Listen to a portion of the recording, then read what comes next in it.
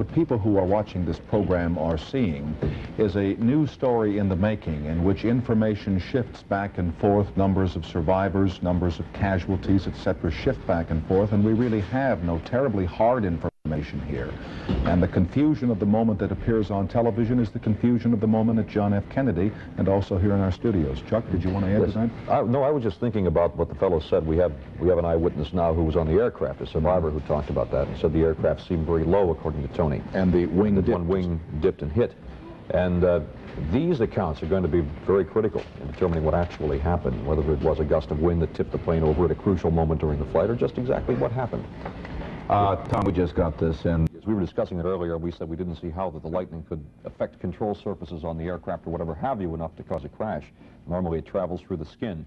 Uh, Mr. John Bierchuk called us. He says he's with Grumman, and he's done a paper on the effects of lightning striking aircraft.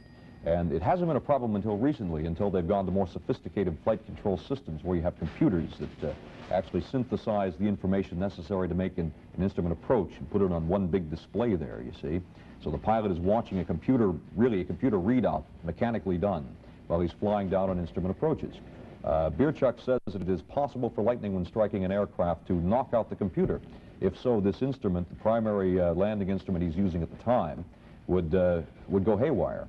And if, when he's that low, and as we saw in the picture, he was lined up with the runway. You saw the approach mm -hmm. lights to the runway, mm -hmm. the little mm-hmm. flashing strobes.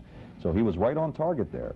If at that last moment something happened to cause his flight director to go haywire, uh, just a split second would all, be all it would take. One other element that we talked about a moment ago was that, that we had an eyewitness on the scene said several of the uh, uh, light, the approach lights were, were clipped. Knocked off. Yeah.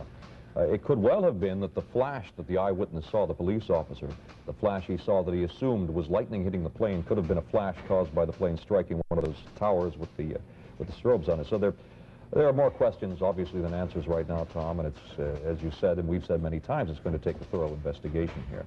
There is one other element in this uh, about the, the survivor uh, who is a flight attendant. I think we have two of the survivors who were flight attendants. Mm -hmm. there are two seats in the rear of the airplane. They're called jump seats in 727s, and they are the only seats in the aircraft, aside from the, the flight crew on the flight deck up front, that have shoulder straps. And uh, I am making a presumption, but I would assume that these two seats with these two uh, passengers in them who were the flight attendants uh, probably contributed to their survival.